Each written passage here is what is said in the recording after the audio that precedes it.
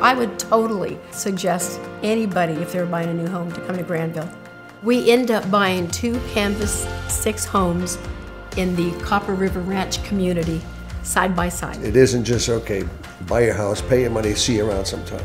It's, Yeah. they, they seem like, you know, they really care. It's more like a family. All the people we've met along the way have just become so close to us now.